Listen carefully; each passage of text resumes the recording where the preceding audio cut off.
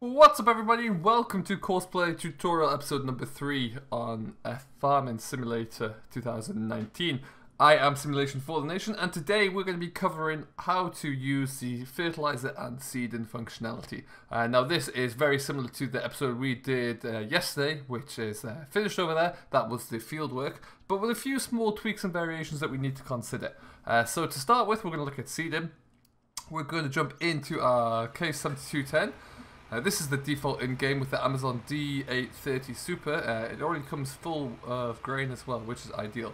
So first thing we want to do when we're in here, as always, is right-click on the mouse and it brings up our courseplay generation. Uh, now, what we need to make sure that we do, first things first, is when you come to courseplay control, you want to make sure this time you select this button here, which is the fourth along from the left, and it is called Fertilizer and seeded. Make sure that one's enabled if you use the fieldwork uh, toggle, your machine will not move. It will get stuck and it won't realize it won't be able to complete the course because it recognizes it has a seeder on the back, but uh, in reality, you are telling it that it doesn't.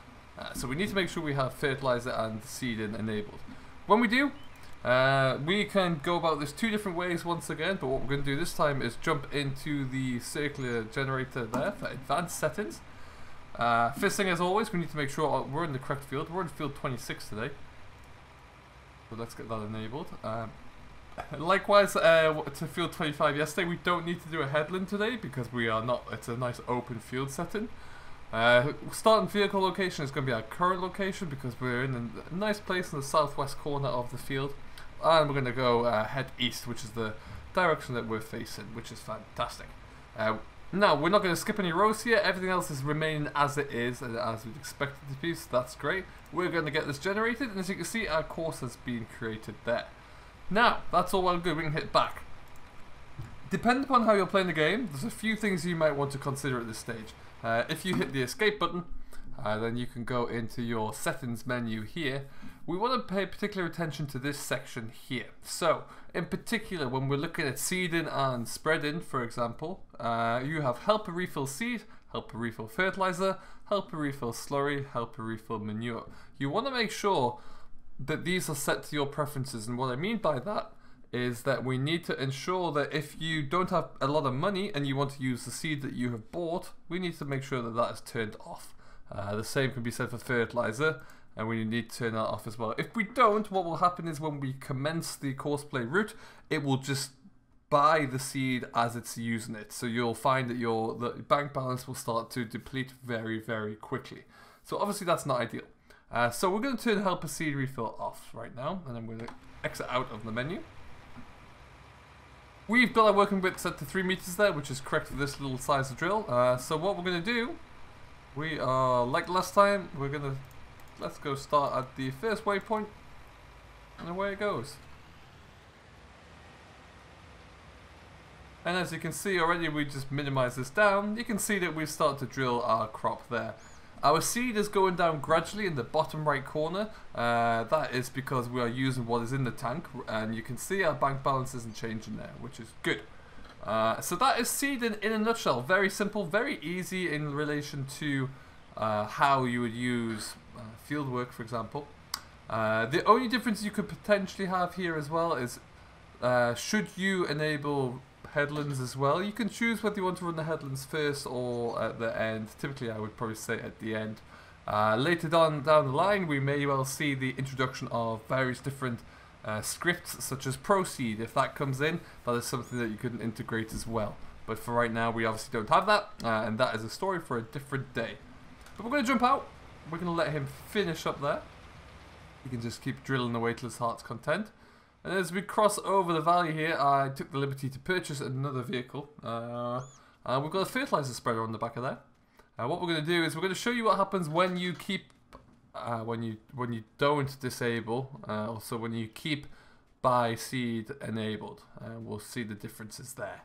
Uh, the only difference being as well with this, what we're going to do, we're going to put a headland on here. So we're going to jump in. Tractor starts up as always. Small field here, so it won't take too long. But let's just, uh, we need to click on fertilize and seed in. We go back into our little toggle arrow here. Automatically, it's set as at 24 meters for the width of the spreader. And we're going to be in field 19, so once again, let's go field 19. Uh, we're going to do one headland today. Uh, as you can see here, it gives us a few more options, so we have headland passes, so we're only going to do one. Uh, which way would we like to do it, clockwise or counterclockwise? Uh, start working on headland pass, yes, uh, and then we're going to do up and downs as well. Uh, so, let's go generate course. And you can see, because of the length of the field here, it just gives us one narrow little pass through the middle there, which looks pretty darn perfect, actually. Now what we're going to do, we're going to go back into our toggle, once it's auto-saved, and we're going to have, we're going to turn helper refill fertilizer to buy. Now you can see I've already put 2,000 uh, litres of seed in there, or fertilizer in there, but let's just go start at first waypoint. This gives you an idea as well, if you start further away from the uh, waypoint, your vehicle will catch up and it will identify where the starting point is. And then it'll get itself right in line, and away it goes. Now immediately you can see we are spreading fertilizer, but down here mine uh, quantity in the tank in the hopper is not reducing as you'd expect. However, my uh, bank balance is depleting very quickly. So we want to be absolutely sure that we know that that is enabled to your preferences. Otherwise, you could find yourself, you set courseplay away on the large field, come back and you have uh, lost a large, large quantity of your, your funds, uh, which nobody wants to see. And then in a second here, it's just going to rumble all the way over to the end, and lo and behold, it will be done. Just like that. Meanwhile, over on the far side, the case is still going strong. Seeding um, fertilizer is very easy. Spraying is also exactly the same as this, uh, depending upon what setup you would use. Uh, and again, always make sure you turn on and off uh, the correct helper settings in the main menu. Uh, so that is it for the next, for the latest, for episode number three of the Courseplay Guide uh, by. And there he goes. He's all done. When you get to the end there, you will see that we get the blue warning suggesting that the courseplay has finished. Uh, just like that, you can come back, you can take him to the next field, and he's good to go. So that's it. That is episode number three in the books for Courseplay on Farming Simulator 19. I have been Simulation for the Nation. I do hope you have enjoyed. If you have and you feel like you've learned something here, don't forget to hit that thumbs up button and subscribe to Simulation for the Nation if you've yet to do so. And we'll see you in the next one.